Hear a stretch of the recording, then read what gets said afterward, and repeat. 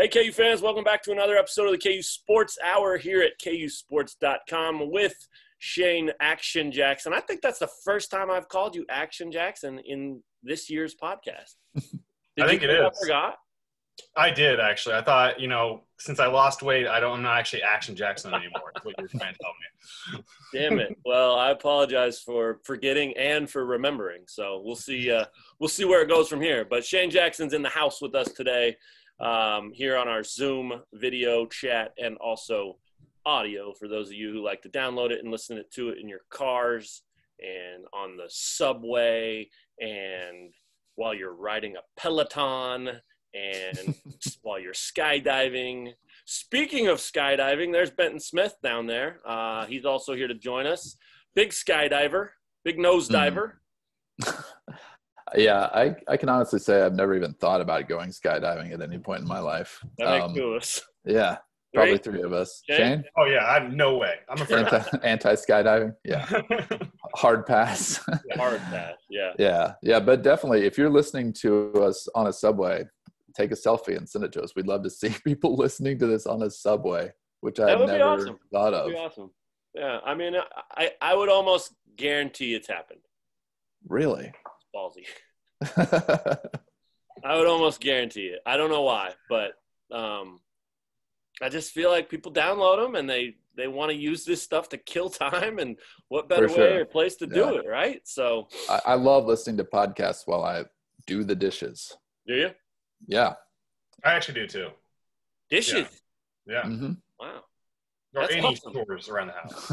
oh, okay. That's good. That's good. Yeah. Nice. Not this. Not this podcast. I hear enough from you guys. Yeah. I see your faces on this interface all the time. I don't need to. I don't need any more of you in my life while I'm doing dishes. Fair, other fair. podcasts. So for people who listen to this podcast, perfect time. Hey, I've got to get some stuff done around the house. Got to rake these leaves because I don't want to watch the KU football game let me listen to the KU Sports Hour. That's it. It's going to be a movement soon. Raking leaves. Hashtag raking leaves.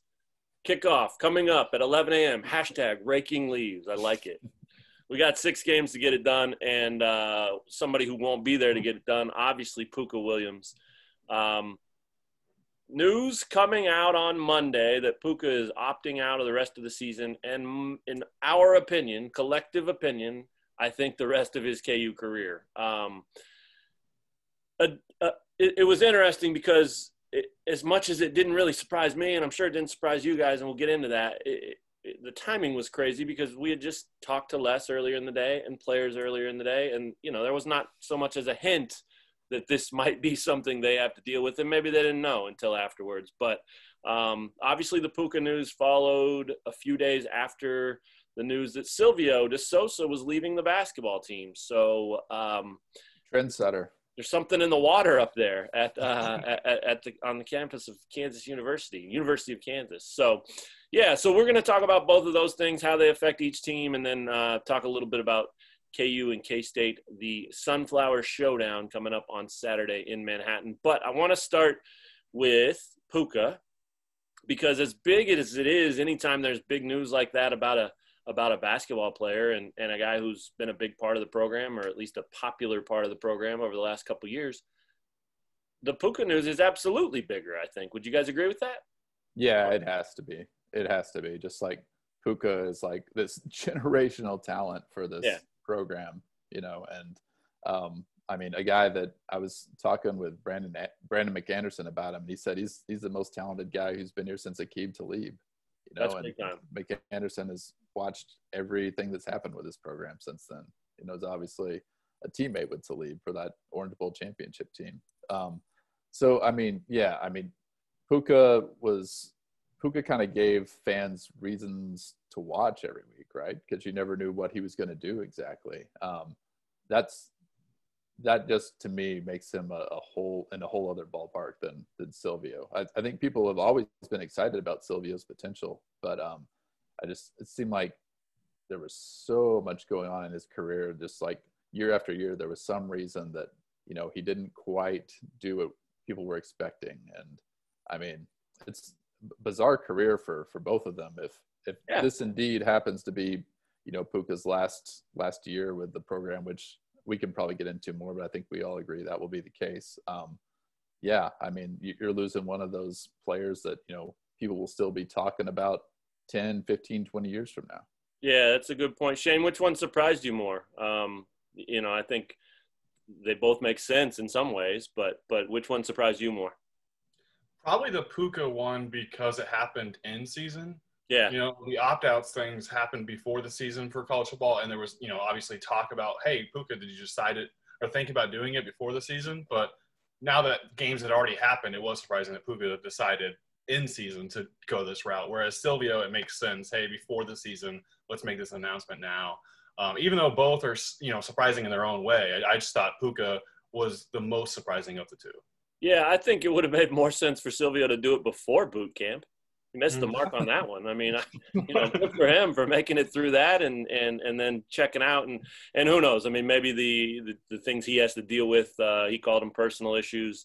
Um, maybe they didn't pop up until after boot camp or whatever the case is. So. Um, I wish he would have done it before I wrote my "He will, he won't, he might" blog on him because you know I, I, I had some good things to say about the potential he had this season and and that he was finally going to uh, you know, operate from a, a, good place, a good headspace, and and and fit in, and and maybe he will, but it just won't be with KU. So, um, yeah, I want to get into Pooka a lot more before we jump back into Silvio. Um, the, the the coolest thing about it is he tweeted, as we've talked about on here a couple weeks ago, that he was going to get a kickoff return for a touchdown, and then he got it on essentially the last play of the game and then, and then that's it. It's a walk off. I mean, like I'm done. I got my kickoff return, and I'll see you guys later. I mean, it just it's just crazy. It, you wonder if like when he was doing his thing in the end zone, you know, did he think about it right then? And and you have to think maybe he did. I mean, he he probably knew because Saturday afternoon to Monday Monday afternoon is not that big of a time gap. So um, if you guys haven't read Benton's story about uh, Pooka and and him talking with Brandon McAnderson, make sure you jump on KUSports.com and check it out. It's it's a, a, really good look from a guy who knows how to play the position and, and what's important at that position and knows Pooka and all that stuff. So uh, awesome get there to have Brandon kind of talk about that position. And and the thing that jumped out to me is is that you know I've seen this on Twitter. He's their sideline reporter now. Um, Brandon McAnderson's really high on the future of this program right now. And I know he's a Jayhawk born and bred and, and he, he, his heart is all KU and all that stuff, but it doesn't seem like it's just a poser thing. It doesn't seem like, oh, I just like it because I went there. I mean, it seems like he's genuinely got some excitement around this this program and and even still at the running back position. Benton, take us through that a little bit. Why is he so pumped about not only the future but but what they have in place of Pooka right now?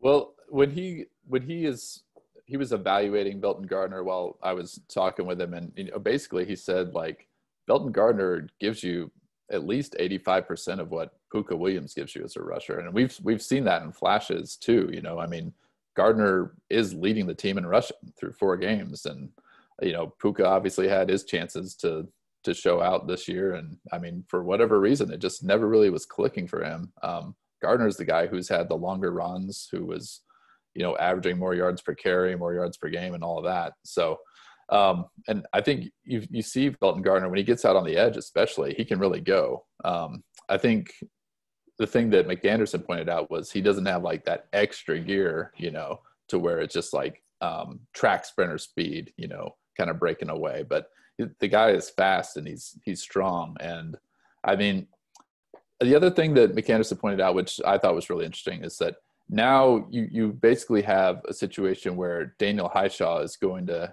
have to be more involved in the rushing game, right? Because you're not going to ask Velton Gardner to carry the ball 30 times a game. So because they're going to be doing that, uh, McAnderson said, you know, basically that gives you two different looks out of the backfield, and that just makes it that much more difficult for defenders to kind of process as they're come as they're trying to read and evaluate on a play. Like, what do I what do I need to do?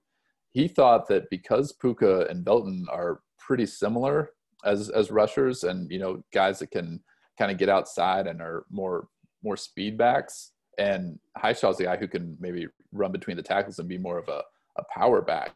You just just seeing something different just may give you an extra second to maybe break a get through a hole or or that type of thing, which I thought was really interesting. And I wouldn't have thought about that because obviously I haven't played the position.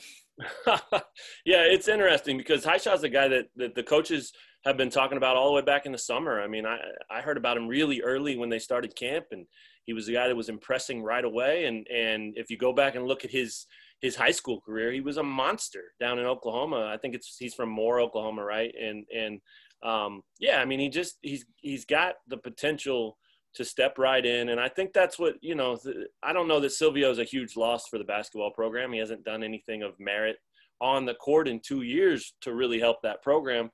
Um, and, and Puka obviously has, but in some ways, with these two guys in place, you know, you're always going to miss a guy like Pooka. You're always going to wish you had him rather than not. But I, I think these two guys are more than capable of of at least carrying the load and, and they're not as electric and dynamic and all that. And, and you know, they're not going to be, I think McAnderson pointed this out, right? They're not going to be the number one thing that the defensive coordinators start with in their scouting reports. Um, but that could benefit both of them. And, and I think that they both can get the job done. And, and Shane, you've, you've seen this, I'm sure years after year after year after year, there's something about the, the, the running back position, right? That shows that whether you're a freshman or a senior, it doesn't necessarily matter. You can come in and make an impact and actually play meaningful snaps right away. Do you have any idea why that is? No, that's a good point. Uh, I well, even when you compare it to the NFL level, I mean, running backs can have instant right. impact as a rookie as well. So I don't know what it is about the position that maybe it's just easier to understand plays or you know verbiage and stuff like that that you can just make an immediate impact. But I mean, you you've been seeing it at KU. The guys come in and play right away. Velton Gardner, you know, last year as yeah. a freshman made an impact right away. So I'm not really entirely sure what it is that makes running backs be able to play more suddenly than other positions, but uh, that's one of the reasons why, yeah, Velton Gardner, Hishaw will have an impact now with Pooka gone.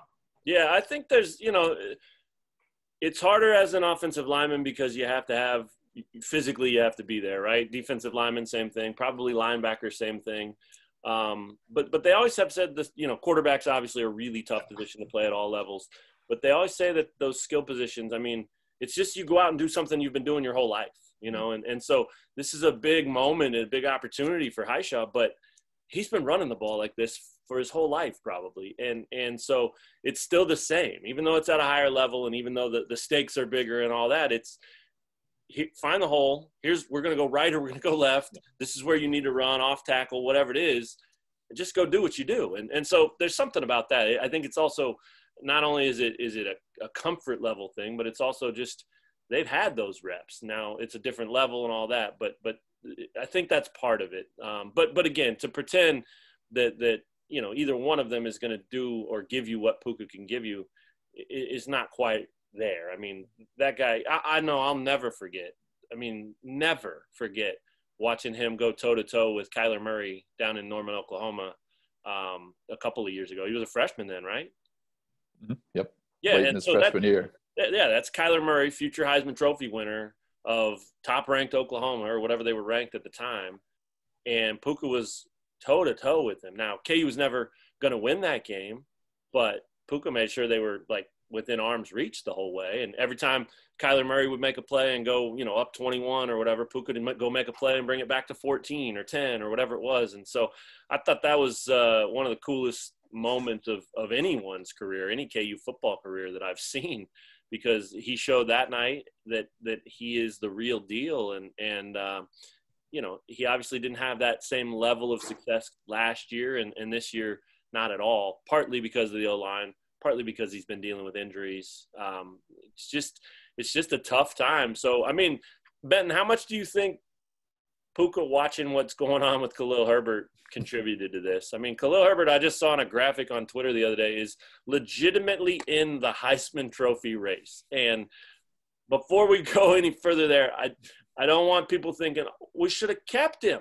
Gosh, he would have been, you know, he wouldn't be in the Heisman Trophy race if he was a It's just true, right? So he may be a better running back than they have. He may be doing well. He may not be, though. This offensive line, as we've seen time and time again this year, is a disaster. So he would not be doing that here. So it's not, you know, what you what you have to say is good for the kid making the right move and going and getting a place where he can showcase himself. But you think that factored in at all? Pooka's like, man, I'm better than that guy, and and and it's also one of his friends, and and he sees him doing this, and I got to get out of here. I mean, could that be part of it? I mean, it definitely could be. We we can't rule it out. I mean, you know, we we don't obviously know all the details of what went into his decision because you know it, it kind of came abruptly and there wasn't a, a question and answer session. It was just, hey, I'm going home and you know my my mother's sick. I'm going home to be with her and it was left really open ended. You know, he didn't say he's not coming back to KU, but he definitely didn't say he is coming back to Right. KU. Right. And you know, no one from KU will will say that he is is definitely gone. But I think that's just them being optimistic. You know, a lot of things can change between now and you know maybe the start of the spring semester. I mean, by then you got to know, right?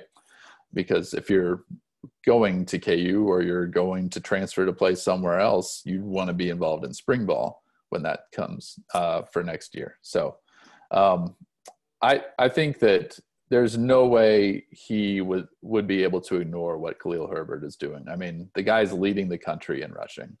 He's scoring touchdowns every week. Um, like you said, I mean, legitimately a Heisman Trophy candidate. Probably maybe a long shot, but you know, he also has a lot of games left. Right. Maybe he goes up those rankings by the time we're in December and they're they're handing out that trophy. So um, yeah, I I think every every Khalil Herbert highlight that I've seen in the past few weeks is reminiscent of yeah, well there you go. A lot of space. a lot of space to run. right. But I mean, he had those type of games when he was at KU, but they were just few and far between because you know you needed your O line to be having a really good day, or you needed to have uh, a good matchup on a given week. It wasn't Right. like every week you were going to have those opportunities, and also a lot of times KU just didn't use them enough. Let's be honest. Sure. Um, and the other thing we should probably mention with Khalil is that he was a senior last year, so for him to have even be playing this year, KU KU staff basically would have had to be on board with him redshirting last season, Right. and he kind of told them, "Hey, I want a red shirt," and they decided,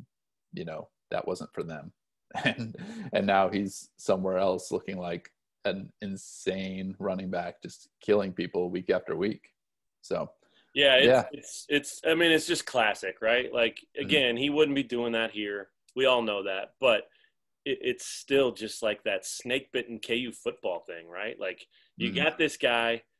He's he's he's partly the face of your program. He's been all KU for three years of his life, and then you lose him, and then he goes on and does this. I mean, like there's just there's just no breaks to be had with this program right now, and and then losing Pooka on top of it is obviously not one. And and yeah, you mentioned it. I mean, this wasn't just a case of a guy leaving. I mean, he he mentioned in his departure note on Twitter that, that his mom's sick. He's going back there to be closer to her. And, and so, yeah, I mean, you know, the, the combination of the two, um, I think it would be really interesting to see um, what, what the future does hold for him. Um, I, I think that he's probably, I don't know this for sure, and maybe you do, but he's probably not in position where he's um, uh, close to graduating. So it's not like he could go play somewhere next year right away, like Khalil did. I don't. I don't think. I mean, maybe I'm wrong. Um, Well, and also if there's, you know, the, the NCAA does grant waivers for certain situations. yeah, that's true. So that's true. Right. That, that could play in his favor as well. Good point. So that that's to me that's the most interesting question with Pooka. It's not is he coming back to KU or is he not? I don't think he is. I don't think you guys think he is either. I don't think most people think he is.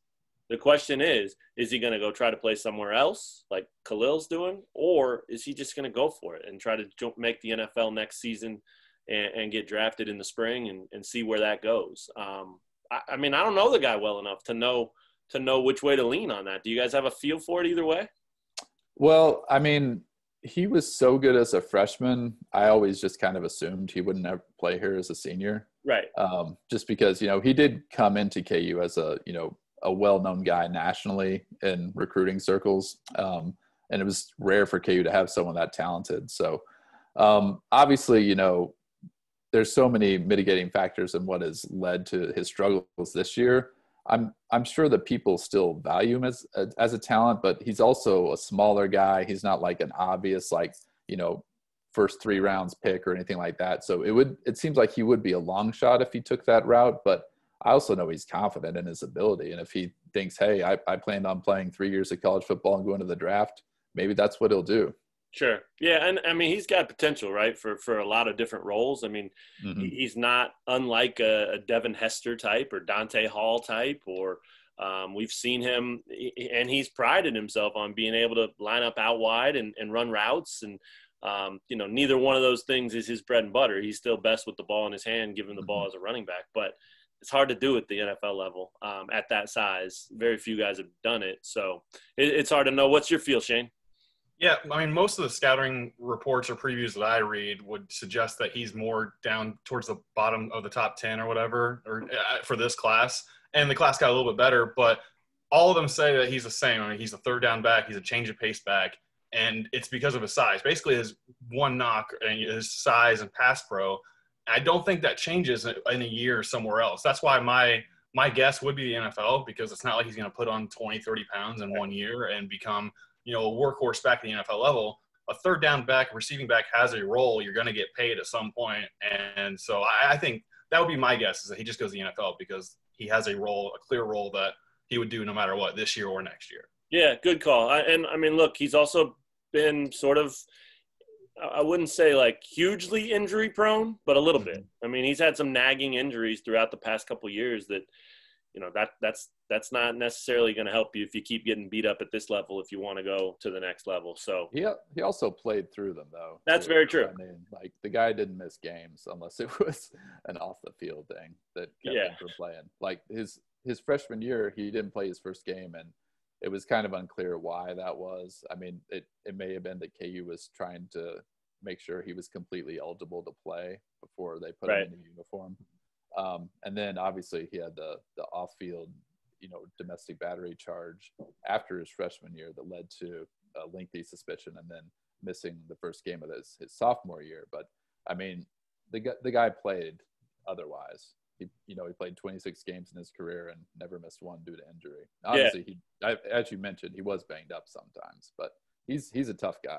No doubt, yeah. And and the the main reason I say that is just because, eh, not to knock his ability or his toughness like that, but but just because if you spend another year in college continuing to take that wear and tear, that's just cutting into your potential to, to play at that next level. Why do that if you don't have to? It is kind of the way I see it. What what does this do before we move on to Silvio? What does this do this week? I mean, obviously KU is going over to Manhattan on Saturday morning uh, to play number 19 or number 20 K State. Um, another triple digit, sorry, not triple digit, three touchdown underdog. Uh, uh, Freudian slip there, maybe. Um, but but obviously another you know uh, overwhelming favorite on their home field. I mean, does this give KU any kind of a weird edge? Like, well, hey, K State doesn't know what to do now because I'm sure a large portion of what they would have planned for is Pooka, and now we don't have him, and so you know, hey, let's see if that can help us. Also, can we rally around this? Can can this team can this team say, hey, let's go get this one for Pooka? I mean, th- they seem to love him, man. He's, he's loved by his teammates, and I think they're all sad to see him go. But um, again, those are, I know I'm reaching, man. I'm just reaching for straws there, but but um, but but can that do anything this week? I mean, I think the one thing it could do is, you know, maybe be kind of a, a galvanizing thing. Um, I think Chris Chris Klieman mentioned this, you know, when Skylar Thompson went down earlier this year. Uh, K State, the very next game, had to play without him, and you know, they actually, you know, probably did a lot better than people were expecting, considering they just lost their quarterback. Um, Right. So it, it could be a situation like that. I think just because, you know, Pooka hadn't been like the, the crazy workhorse running back a lot of us thought he would be for this offense, you know, he never carried the ball more than 14 times in any of those games. So they were basically splitting carries with, with him and Velton when it came down to it. So I don't think that that it's going to be like that drastic of a of a game plan change where K State doesn't know what to expect. Um, so, but I I do think it's something with they they could overlook KU even more now because because you lost Pooka. I mean they they've already kind of addressed those questions and said they. I think Klieman said we're not good enough to overlook anybody. Right. That's that's probably the good thing if you're K State and you can point back to that that uh, non-conference loss and kind of say, hey, we can't overlook anybody. So maybe, Yeah. that'll, maybe that'll help them not overlook KU because otherwise this is a perfect opportunity for a team to overlook KU. Winless Yeah, team just point. lost its star player. Yeah, and I think I mean as soon as I heard about this, I was like, wow, these these defensive coordinators that are getting Kansas the the next six games have a real advantage. I mean, they they don't have to prepare for Pooka. KU's offensive line has been terrible. KU's quarterback play has been terrible. I mean, it, it just doesn't strike fear in your heart if you're a defensive coordinator, and, and so it wouldn't surprise me. And I know we'll never know this, but it would not surprise me if uh, if if these coordinators start you know using half the week to prepare for KU and then maybe two two days to prepare for their next opponent too, and just playing pretty vanilla stuff against KU and just assuming, hey, our, our guys are better than yours. We're just going to go knock you down and, and take it. And, um, maybe that helps KU stay in some games. Maybe it doesn't. I don't know. We'll get to that on another podcast. This is pretty specific to these two guys and these two situations. Um, but I don't know. Shane, you give KU any chance to hang around? Uh, if it was any other team, maybe I would consider it. But you know, based off the interviews, K State always cares about this game a lot, and uh, I I don't envision that changing this week. And so yeah, I would I would lay to three touchdowns if I were a gambling man. if I were a gambling man. Fair enough. All right. Well, let's talk about uh, Silvio real quick. We got about ten minutes left. Um, what jumps out at you guys real quick? I've written a ton about it already, and, and obviously we'll have plenty of time to kind of cover this more. But anything jump out about you know the first thought when you heard he was out, um, what this does to KU or the program or the big men or anything like that? Shane, go ahead. Yeah, I think you mentioned it in your story right away. But my first thought was, hey, maybe we don't have that illusion where there's KU's playing two big men right away, and it's just four guards from the jump. I feel like that's always a talking point you know in December every every year is hey when are they going to change to four guards one big? Maybe right away it's that obvious. That was my first thought it was when Sylvia Silvio was not there is that hey maybe this is going to force four guards right away. And and I mean they're loaded in the backcourt yeah. so that plays to their strengths. And you know you, you'd obviously rather have a guy like that around another big body a guy that that fans like, players like, all that. But man, if you're looking for silver linings, that's it. You you just now made it easier to get those seven guys in your backcourt minutes and and keep them all happy and and play to their various strengths and abilities and skill sets. And I mean, it, it, yeah, it should be fun. Ben, what jumped out at you?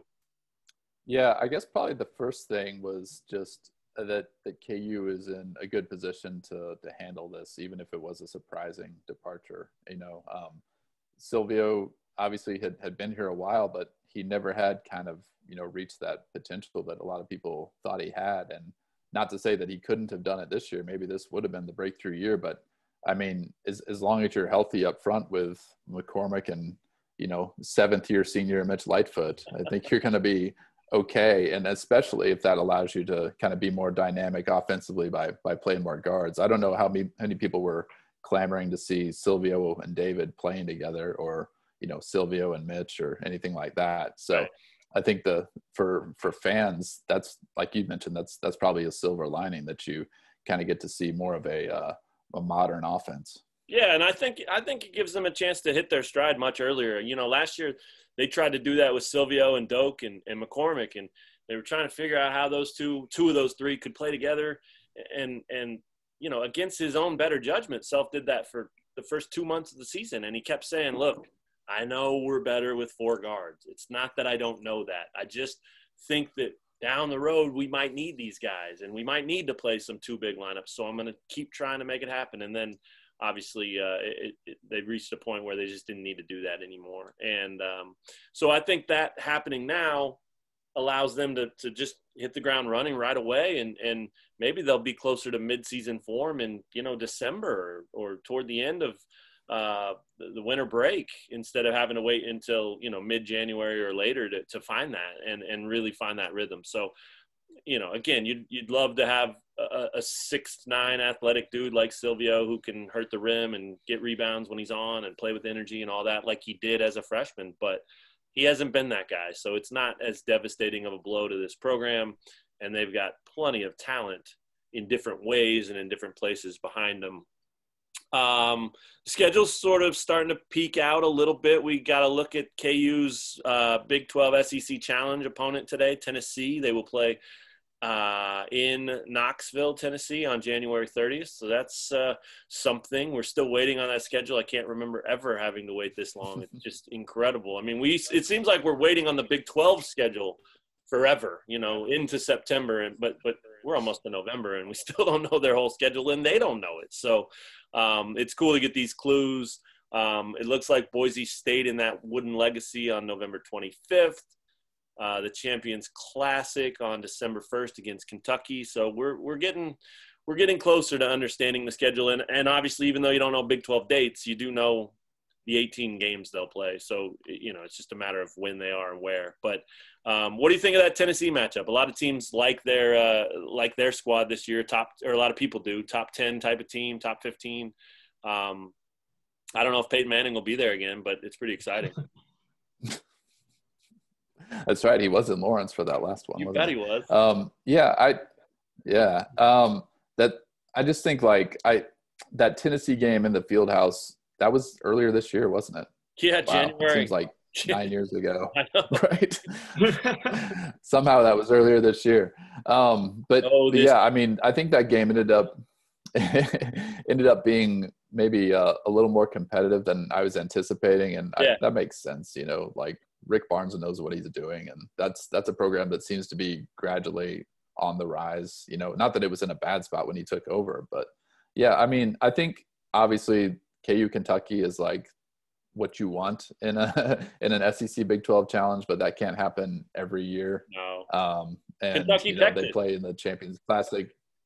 Yeah, not bad. That's fun. But I don't know. That, yeah, yeah. So I don't know. Uh, to me, like unless you get that Kentucky KU matchup, people aren't going to be like salivating for it. But we it could be look a lot different by the time we get to late January. You know, some Tennessee might be on a roll, and it could be a marquee game.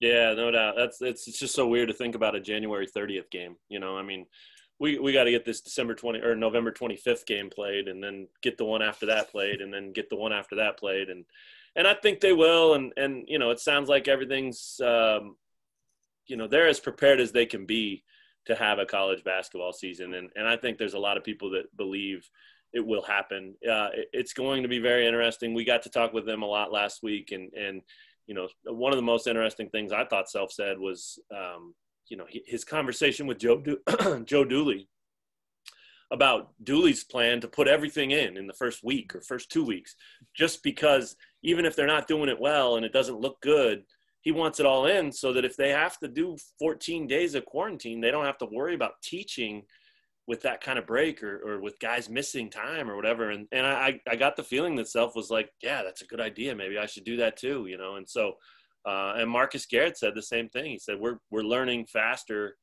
than we have at any point that I've, since I've been here. So um, it, will be interesting to see what that does to those young guys. There's, there's a lot of excitement about that freshman class or that newcomer class with, with Bryce Thompson and Tyon Grant Foster and, and, and then even the younger guys like uh, Jalen Wilson and Tristan Enaruna. I mean, they've been here, but they they're not veterans by any means. So what what does that do to those guys? So um, lots to look forward to with basketball stuff. Of course, late nights coming up on Friday. Uh, you can check that out on Big 12 Now, ESPN Plus, or KU's website, and uh, we'll have all kinds of coverage from that. And then, of course, we will have coverage from KU K State 11 a.m. in Manhattan on Saturday morning. So that's all the time we have here for today on this very Silvio Pooka version of the KU Sports Hour. But thanks for checking out today's episode, and we will talk to you guys again real soon for Shane Jackson and Matt Tait. I'm Benton Smith. No, I'm not. I'm Matt Tait. You guys know that. Thanks for checking it out. Take care, everyone. We'll talk to you soon.